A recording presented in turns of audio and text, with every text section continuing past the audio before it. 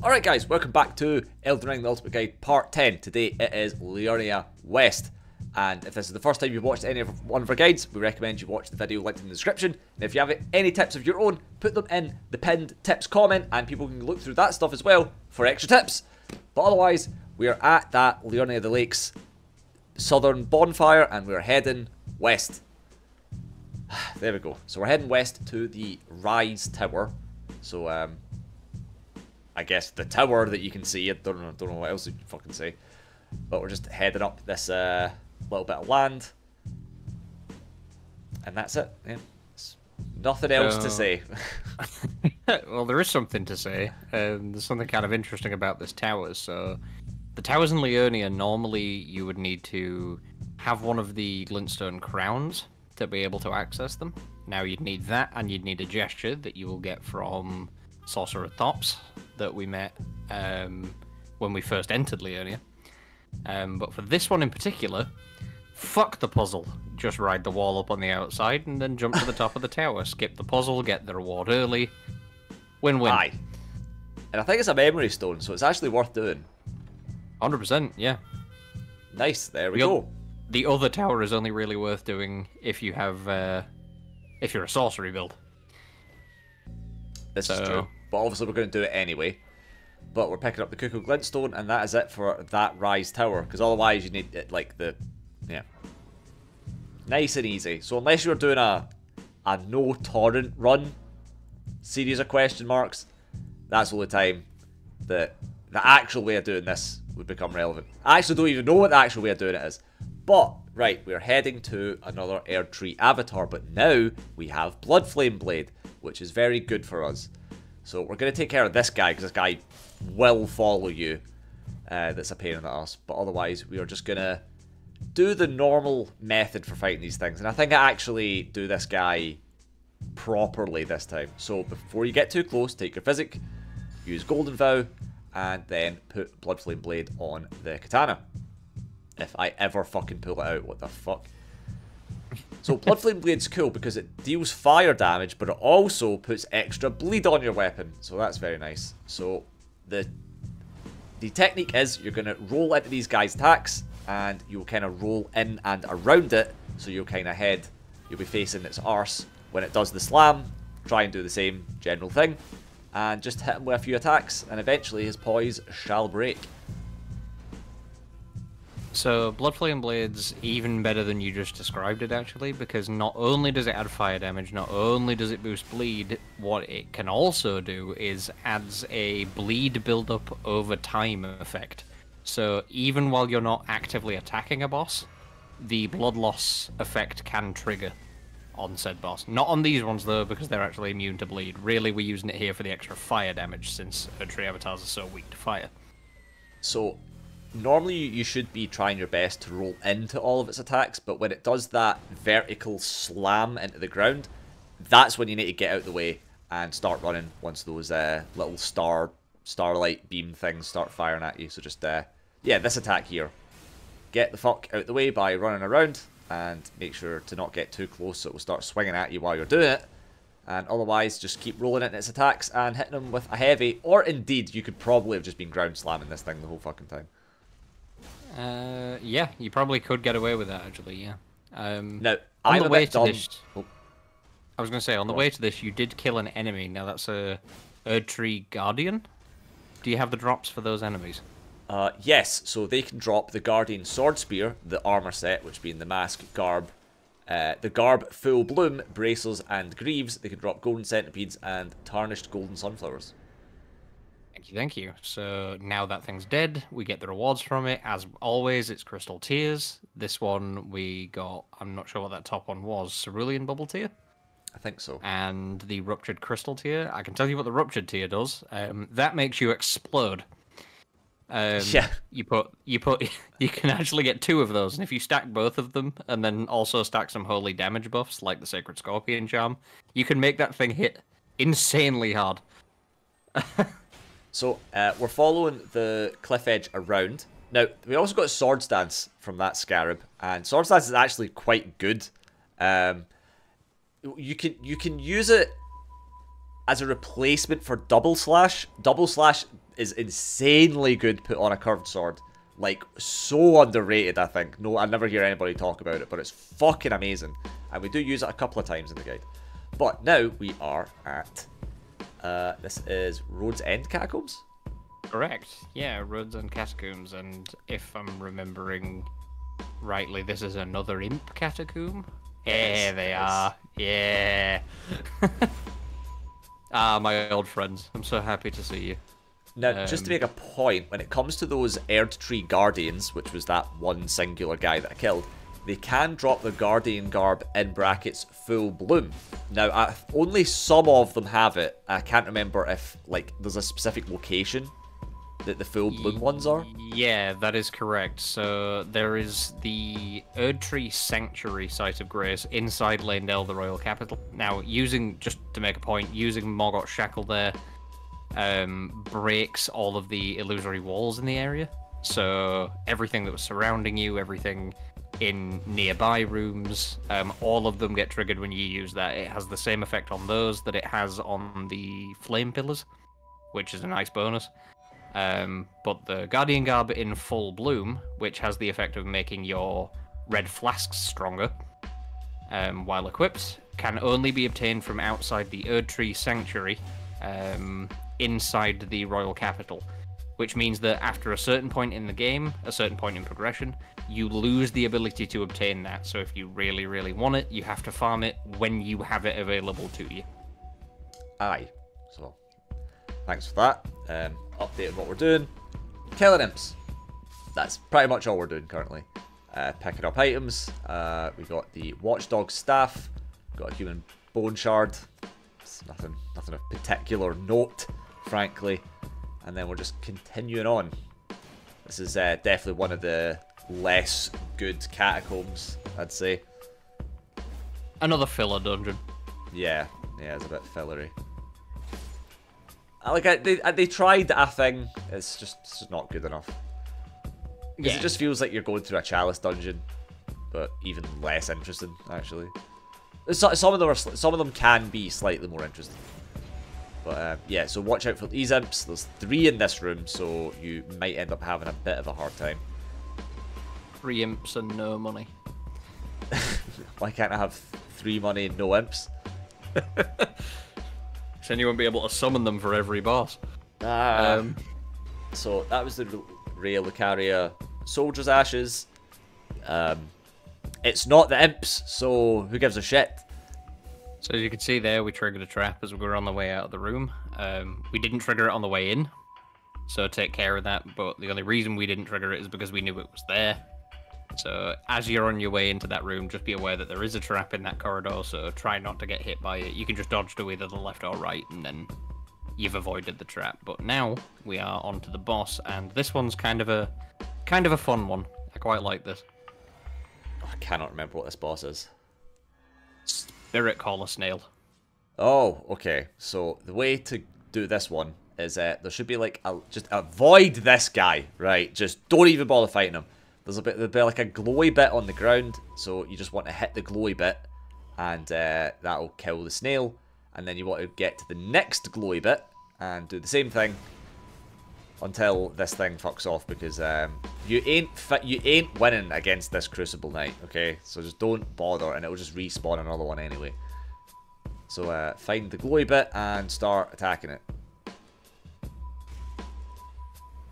Oh god, You can see there, ground slam not doing anything because we didn't have any blue, so there was no AOE on it. But hilariously, because of the, the crazy input reading that Crucible Knights had, he just immediately went for us as, as soon as we took the blue. flask. Because he wasn't attacking us. As soon as we drank that blue flask, he was fucking in on it. And that's how you fight that boss. And now we're going to warp back to the, like, the start of uh, this place. And I think we... Okay, yeah, we level up a little. Oh, we don't level up. Never mind. And uh, now we're just heading north. Uh, the next the next thing was, will, will be Edgar's quest, or I guess Edgar slash Irina slash Hyetta's quest, I guess. Uh, so just avoiding all these bats, and we're just heading into the the forest, I guess. I think this forest will be the first time you've encountered the Volga militiamen enemies. Or do Uh, we go to Edgar first? Yeah, it looks like it's got to be Edgar first. I think we encounter the, Vol- the Volga militias in the the Bell Baron cave. I think. No, that's that's later. That one. That's on Oh, I think we, I think we were thinking marionette soldiers actually. So when it comes to Edgar, this is the guy that drops the banished knight halberd. So uh, this will be a plus eight weapon. So it's kind of cool if you don't have that already. And then there's a also- whole bunch of raw meat dumplings as well. Some shit's going on here. It also comes with the spinning strikes Ash of War attached to it. So if you want that as a reward, you have to remove it using the whetstone knife at a site of grace. So that if you decide you don't want it and you sell the upgraded weapon, um, you don't You lose still have Ash Ash of War. Yeah. So here, uh, now we've killed Edgar. Uh, we're now going to come back here and give uh, give her a, another Shabriri grape. Sorry, don't mind me. Walk away from her a little bit. She throws up. Um, get a nasty dialogue line. Actually, that. did we give her a Shabriri grape? I think we just told her what they are, right? after giving her one. Yeah, Oh, okay. okay. because you obtained one for defeating um, What's the reason it Edgar. disappears so faintly? Right, right. Finally, I'm certain now. I've So she's still all in on Shabriri grapes. So we just exhaust the dialogue, and that's us. We're back at Edgar. She's like, you know what? Fuck it. In for a penny, in for a pound. I've had three of these fucking things. I ain't stopping now.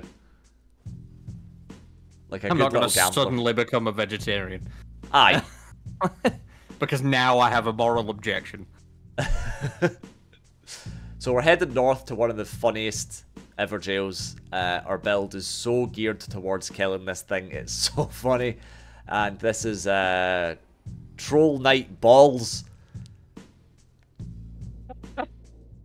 Uh, someone was having some fun when they named this guy, weren't they? Aye, so this guy, like all the other trolls, has glass ankles. So um, just do what we're doing. Take the physic, golden vow, blood flame blade, and uh, just start ground slamming. Two should put him on his ass, and then just uh, just start swiping. And it will just get removed from existence. Poor balls. I mean, you were slashing up balls as balls.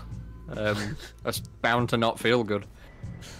And that gives us uh, Great Blade Phalanx. Speaking of uh, boss drops, since we didn't mention what the Spirit Caller Snail gives you, um, you get the Glintstone Sorcerer's Ashes from it, but we were out of that cave so fast you didn't even see it pop up. yes, that's a good point. So we're headed along to this little. Uh... and Also, Glintstone Sorcerer's that dog shit. But uh, heading along to this little bit of uh, island, and there's one of the uh, one-shot scarabs. So we're just gonna hit it with a bow, and that'll be us. So now we're on a dragon fight, and this is actually one that we have to fight. Oh no, we don't have to fight it. It no, you don't. the- You can No, just no. walk past it, pick up the item, and leave. You don't have to So- kill this guy. We are going to put on the magic defense talisman. And uh, we're also going to use Lhutel the Headless for this guy because the imps do not stand a hope in fucking hell again. Surviving against this. really. Um, Spirit Ashes in general aren't great versus dragons. Yeah, yeah. Um, we just like, need even the the mimic one. kind of struggles. It's true. It, so we're just going to use the tankiest one we have to make an amount of a distraction whilst we um, do what little we can. Now, again, you can come back and wait until we have the proper method to deal with these dragons, just like the Black Knights, just like other enemies. Uh, you can just fight this later on once we have the equipment, but otherwise we are using uh, Poisonous Mist to get this thing poisoned for a little bit extra damage. It's actually not particularly great. It doesn't really do that much damage overall. But the best thing we can do, the best thing we have in our arsenal, like with Agheel, is just using Bloody Slash on this thing's face. But there's a wide, wide open area to fight this thing. Um, so we're going to be utilising Torrent as much as we can. But like most dragon fights, this is a pain in the ass. Now, something I will say is while Bloody Slash is very effective versus the dragons, lets you hit the head quite easily, um, there is a caveat to that, and that is that Bloody Slash does deal damage to you when you use it. So be Yes. aware that if you have, say, the Bubble Shield active, using Blo- Bloody Slash will pop it. Um, you'd be good to stack it with the health regeneration physic, because then you could be regenning the damage that Bloody Slash will deal to you over time. So just keep in mind that that's something that may prove detrimental if you are using it throughout the whole fight. Yes, so just keep an eye on your health. So hopefully you can kind of keep an eye on what it is that we are doing, but like all dragon fights, the AI is like shitty and bugged, so if he flies out far enough, he will just go back to his original starting point. Uh, luckily, he doesn't gain all the health back, so that is good. Thankfully, they managed to not totally fuck that up. But yeah, as you can see, this guy can go out a long, long way. And as good as Bloody Slash is, I have no idea how he hit me with that. Fucking hell. But as good as it is, it's still not the um, Spectral Lance on the Great Lance, which is the amazing, amazing, amazing, amazing, amazing, amazing method for fighting these things. But uh, You're otherwise, welcome. yeah, you are welcome for that. You're welcome in advance because once you find out about this, you are never fighting these things the same ever again. No, never, never. Um, so I, I, for some reason, Bloody Slash seems to be doing like diminishing returns. It's like it's doing less damage over time. I don't know what the fuck is going on with it, but I just avoid its fire attacks. That should go without saying. Um, but you can also get in like a cheeky hit with a bow because I could not be arsed fighting that thing any fucking longer. But hopefully you're able to take in essentially what we're doing. With the dragon fights, you just kind of need to get a feel for them. Honestly, is there's only so much you can say how to fight the dragon. I can tell you how to hit it with Bloody Slash, but otherwise with its attacks, you just need to get a feel for it. But behind the dragon is the Glintstone key that lets us get into Raya Lucaria. But we're not going to go there quite yet, but that is how you get it. You grab the key from there, you go to that big blue gate, and the key will let you get in. So, heading further north, uh, there's a gazebo with some Smithing Stone 3s in it, and there's also this Grace. And now we are going to be heading to. What is it again? It is Academy Crystal Cave. Yeah, the Academy Crystal Cave, and I think you need some Stone Sword keys to get into this, but if you've been following the guide, you should have plenty. Correct, correct.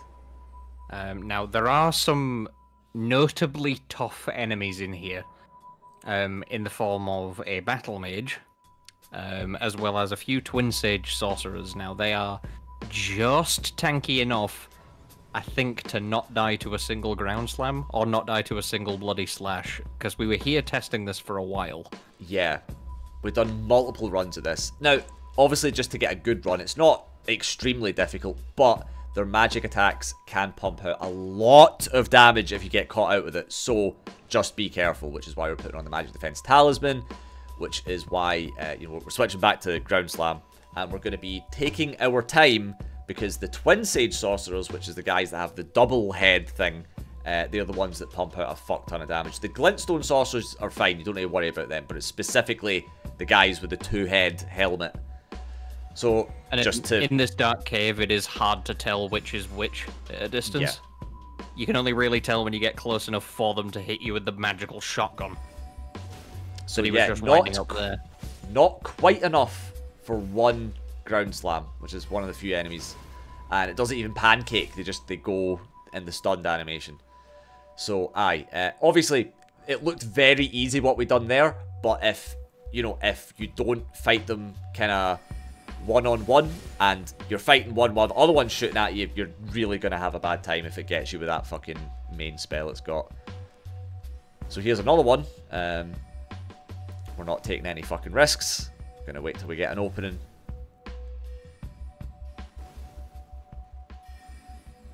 And get Yeah, that, that, backstab. the magic, the magic shotgun. You really don't want to get hit by that because it fucking hurts.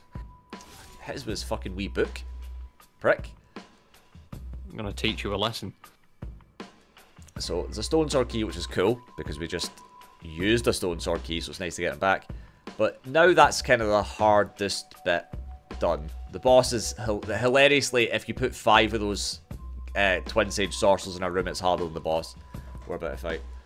But um, yeah, so the If you just glintstone put two imps in a room, it's harder than a boss. This is true, actually. So uh, yeah, there's a battle mage. So we need to take care of that. Now, while they can't drop their armor set because it's dropped by one of them specifically in the strangest place possible, um, they can drop their stone club, which is Yes. very, very good at breaking stance. So Uh, if you do get one of those to drop, it's nice. Now we hit a little bit of the the surrounding cave wall because it's an illusory wall, so that allows you to get here and get the crystal staff. And um, thank God it's a battle mage and a glintstone sorcerer, not a battle mage and a twin sage sorcerer, because that would have been uh, probably quite a difficult encounter otherwise. But the glintstone sorcerers and twin sage sorcerers drop the same thing. That's the Raya Lucarian robe, the sorcerer's manchettes, sorcerer's leggings, and academy glintstone staff. So, aye. The headpieces you get later on as individual pickups. So here we are with the dual Crystallian boss. Is it one one wasn't hard enough apparently. Um, so you kind of want to Three isn't hard enough. no, no, no. So, Aslam is like probably the best thing for fighting these things. Maybe Lion's Claws theoretically better, but you want to try and. This thing can put out a little bit of damage, so you just want to be slightly careful of the Sorcerer. Thankfully, they updated the AI for these guys. If you're inexplicably playing this game unpatched, these guys are actually hard because they all attack you at the exact same time and don't give you a chance to recover. But otherwise, just kind of split their aggro, take care of the one of them. Uh, you probably take care of this one first, actually. Fuck it, it literally doesn't matter. Hit him with your bossy, and uh, there you go. Now, No, we- something to note actually is when Yeah. we enter this cave, we put on the magic defense talisman. Oh, we I already did had it mention on. that, but yeah. Yeah, but what we'd replaced was the Radagon Scar Seal. Now, the reason for that is because Radagon Scar Seal lowers your defense um, in exchange for raising your stats. Now, if you just swapped out the um, Spell Drake for the Erdtree's Favor, A, we might have been fat rolling because the Erdtree's Favor gives you extra carry weight, but B, we'd have still been taking increased damage Yeah. while trying to mitigate it. So there isn't really a synergy there. So Whereas with the setup that we have on, it works. Um, Terra Yeah. Great spell. Um, casts a little seal on the ground, boosts all the magic damage you deal while standing in the seal by 20%. So that's spells. Um, magic grease will be increased in damage. Crystal darts will be increased in damage. Um, Ashes of War that deal magic damage will deal increased damage, so on and so forth. So we're heading back to Edgar's uh, Grace, and now we're just uh, heading north. But yeah, in addition to the extra damage that we would be taking, it's just a little bit extra damage we take for Radagon Source Seal, but those Twin Sage Sorcerers pump out so much damage that it's extremely detrimental, especially getting hit by one of their spells with the seal on. So just there's another reason why we switched it out. But we're just uh, running into these uh, this kind of rocks or whatever. There's another one of those singing bats, so we're gonna kill that, get a bigger, uh, a guaranteed big rune, and then we're moving on. Here we are at the next grace. There's plenty of graces scattered about in Liurnia, I will say that. I think there's 57 of them in total. Fucking hell. Just not 57 doesn't- across the entire game. No, it's 57 in just Liurnia, but that does include inside Raya Lucaria, inside Caria Manor. It does include the Study Hall, it does include the Moonlight Altar. Um, So, moving further on, there is a shield here. It's a jellyfish shield. Yeah. Uh, I don't know if that's good or bad, but there is a little bit of a camp coming up here, and this camp can actually, at least it proved up a bit of an issue for me. So we're just going to grab this rune arc. There is a chest there. Don't worry, I do see it. But there's, as far as I'm aware, in that chest is a, a mid-mediocre shitty item. And if you try to open it by running past everything, uh, you're just gonna fucking die. So uh, don't bother even opening that chest because it's not worth it. Um, and it's not worth fighting the enemies in that camp because you don't get anything for doing it.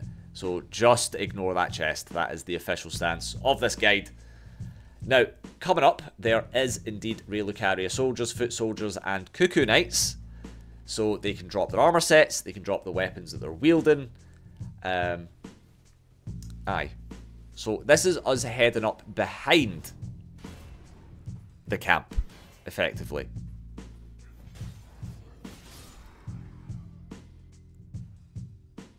There And is we're just also a gonna- pumpkin head in this area, so just be wary of that. He may This try and true. sneak up on you, because despite being big, he is quiet. Oh, also dogs. They really did just want to stack the deck against you when you come to this camp. Yes, yes. So in this, so the actual things in this camp. So there's an Albinauric blood clot, which is a crafting item, epic.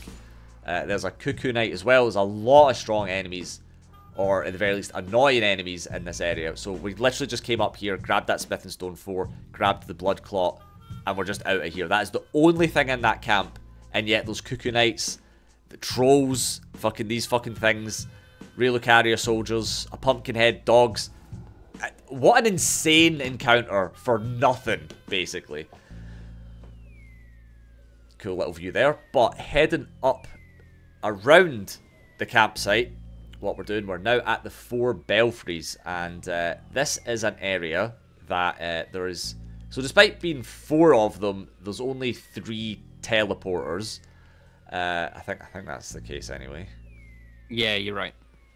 So, uh, you need something called uh oh fuck, what's the key again?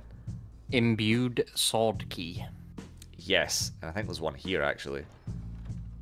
Yes, so we can use these imbued sword keys, there's three in the game, one here, and we use them to activate the teleporters, and then they take us to a little, a little individual section that's kind of cut off from three different areas in the game. So this is the only way you can access these areas, is by these imbued sword keys, putting it in here, and then activates the teleporter. So we're just going to activate this first one now, and this is going to take us to the starting area. Precipice of Anticipation. anticipation. And now we're going to get our revenge on this fucking grafted scion. Which I mean, It given the amount of gear we've got, the options we have, the blood flame blade, the the golden vow, the physic flask. I mean, this this boss is a joke.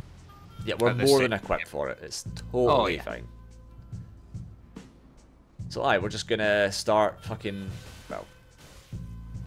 I was going to say, we're going to start wailing on it. Actually, we're going to start with him wailing on us. But, I mean, look, that was an insane amount of bleed build up for like three hits. God, that attack's really obnoxious. And yet didn't kill you because you're now a significantly higher level, so your passive defenses are a lot higher. Ground slam doing meaty damage to it. Yeah. There's the scream. And the boss. And it's dead. Easy peasy. There we go. We get his uh, sword and shield. So you really don't need to fight this thing at the start of the game because it's not a it's not like the other Souls games where if you fight it at the start of the game you get like a better or a different weapon or something like that. Nah, you just come back here and you just get it. So just don't worry about trying to fight it right at the start. And if you come up here, this door is now open. We can get the Stormhawk King, which looks like an Ash of War summon, but it isn't. That one is though. Aye. Um, Stormhawk Deenh will give you a little buff when you summon it, um, and the Stormhawk King is actually a key item, and it's something that you give to Nepheli Loux in the round table. Aye. So now we are yet again just running past this encampment. Because fuck this encampment.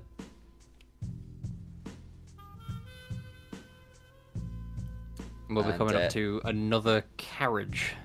Yes, so the carriages again are surrounded by wandering nobles and more Raya Lucaria soldiers and stuff.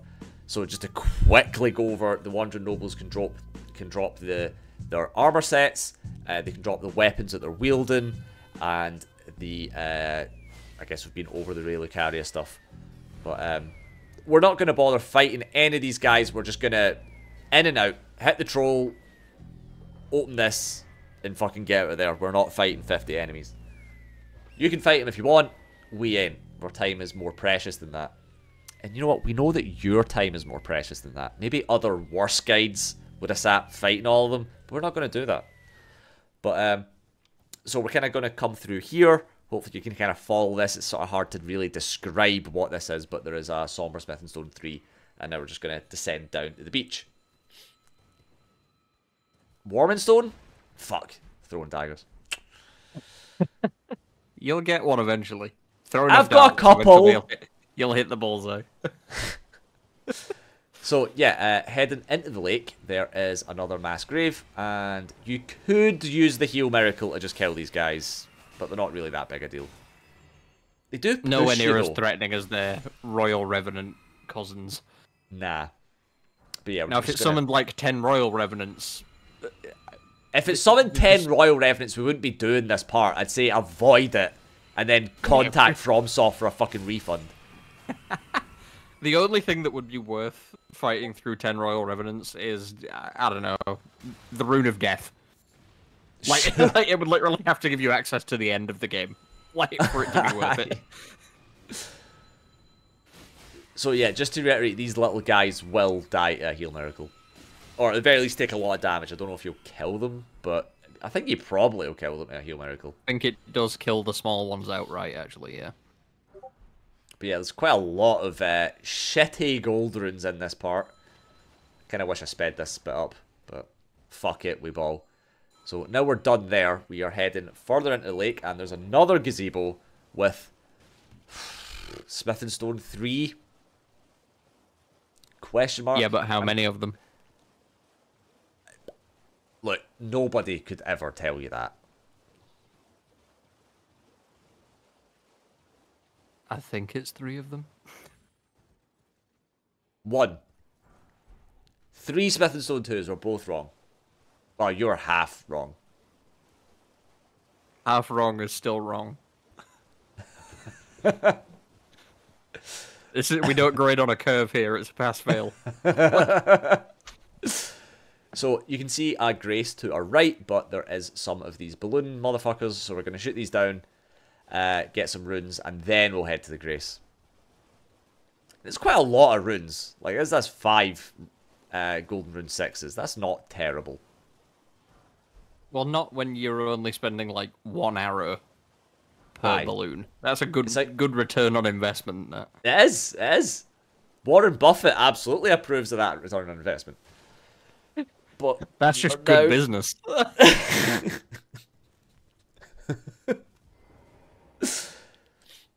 So we're gonna rest at this grace, and now we're coming up to another rise, quote unquote, puzzle. Um, it's another one where you have to hit some uh, some turtles. I I think. Anyway, I'm pretty sure it is. Yeah, these ones are a little bit better hidden than the previous ones, although Aye, they- none of these are didn't invisible. try. So, Aye. So uh, read this. It should uh, activate it. there's also that's spawn a bunch of ghostly enemies as well. Yeah. But they're such a non-issue. Just don't even worry about them.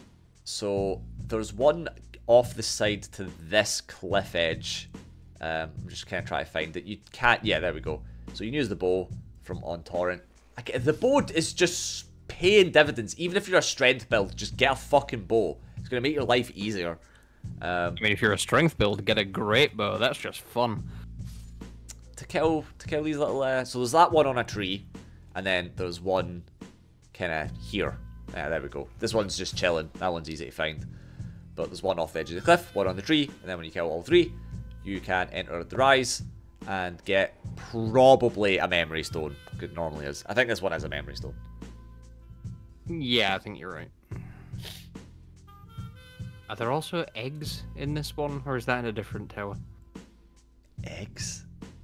Yeah, slumbering eggs. That might be in the tower that disappears, though. There we go. Memory yeah, stone. Memory stone. And uh, right, straight back to the round table hold. And I think we're probably going to upgrade our weapon and or level up. We'll probably be giving the Stormhawk King over to Nepheli as well, while we're Yeah, here. probably. So we can level up uh, our katana to like the second leveling stage of the smithing stone 4 portion of that. And uh, looks like we leveled up the bow a little bit. And we could just. I, there's almost no reason to level that up, but fuck it. It's cheap and right there. So now we are going. Oh, I thought we were going to Nepheli. So it would look like we're going to sell our runes because it's much, much, much, much faster than popping them in menu. And I think we're going to level up. And I think we're probably. I think we're leveling up endurance currently. I was right. So that's 24 endurance, I think. Can't quite see from here. But now we are heading back to. Uh, this is this is the so this is northern Liurnia of the Lakes, and this is the one that we got from the teleporter, um, that teleported us to the map fragment. But otherwise, I mean, you can just run here anyway. But now we are King's Realm Ruins. There's a couple items here, and um, just ignore the enemies. But there's a Sacramental Bud. Ah, fuck. Again, there's no partial credit. It's a pass fail. Uh, I need to take the gear again. So yeah, that's Uh, a reset. Um, yeah. So there's this uh, invisible staircase, and then there's a Pumpkinhead boss down here. No, no, no, it's a Revenant boss. So we're gonna get our heal miracle out. We're gonna take our fucking, we're gonna take our physic flask, and then we're just gonna spam the shit out of heal and hope this thing dies quick enough. Once heal is a massive area, by the way, so even Aye, if it dashes aye. away from you, there's a good chance it still hits. And that is how you beat that boss. And you get the And- frozen needle as a reward. Yes, which is quite a cool rapier. Built-in frostbite build-up. If you charge its R2s, it has little projectiles on it. Um, if you partially charge an R2 and backstep, even the backstep attack has a projectile, which is cool. So that's another invisible wall. But you could also, if you're so inclined, do this. Cool, I guess. Um, Stops the enemies peppering you if you're standing at the grace. and there we are at the next grace. So I guess we speak to Iji a little bit. So you can talk about E Iji. Is the second blacksmith in the game. He's tied to uh, Lady Ranni and her entire quest chain. Um, he's also got associations with Blaidd and an NPC called Seluvis. If you tell him you know Blaidd, that gives you access to an item in his inventory called the Carian Filigreed Crest. is a very useful talisman. He sells Somber Stones 1 through 4, so if you wanted to use a Somber Smithing Stone upgraded weapon, you could get it plus 4 immediately by coming here. Um, he can also upgrade all of your weapons for you, just like um, Smithing Master Hewg can. But we're finished with him for now until we progress on to Ranni's quest. So for now, just avoid the blue arrow rain and head over to this left hand side here, and we're heading for another mass grave, I believe. Uh, yeah, I think you're right. Yeah. Yeah. This one I think is protected by rats? Question mark. I really hate how much they like have enemies defending this area, and it's like, bro, this area is like five thousand souls. It doesn't matter. Like, They're just Like, you it as inconvenient as possible. yeah, you need to put so much effort into picking these things up, and it's like, Jesus Christ, it's barely worth it. So now we are kind of following the cliff edge to our left, and uh, well, not cliff edge, wall bit, whatever. Uh, just follow where we're going, and uh, now we are at Caria Manor. Now we're not doing this just yet. Uh, I don't even think we do it next. Uh, yeah, no, we don't do that next. But yeah, let's ca- Caria Manor. But we are going to grab the grace. Might as well. There's a little bit of time later on. Oh shit! Something to mention is the troll knights in the forest can drop the troll knight sword. Uh, they can, but there is one that seemingly drops the Troll Knight sword guaranteed. But that, That does mean true, you can actually. get two of them per playthrough. That you know, I did forget about the one that drops it seemingly guaranteed. Well remembered. What the fuck? Okay, so now as much as we ground slammed that thing, I just didn't have Storm Stomp equipped. Right? Use the dagger, use Storm Stomp, and then get Hoarfrost Stomp. Now we want that. Hoarfrost Stomp is great because it's the first Ash of War we can put on our katanas that can give it frostbite damage. So not only are we building up Bleed, we're building up Frost. So that's two fucking stats effects, baby. Uh, so very, very good. Imperative to our strategy for uh, free damage, which is essentially what our, this build is, is just free damage. Just overwhelm the enemy with status effects. And uh, we just have Hunter's uh, health and endurance to go along with it. So now we're heading back into the lake. We're heading further north into the lake. And there's barely any items in this part of the, the, the like map. It's kind of crazy. So we're picking up the soporific grease. That is, uh, can put sleep status effect on our weapon. Um, only kind of useful against a few enemies. The enemies that it is good against, admittedly, are is very useful for though. So don't don't get us wrong.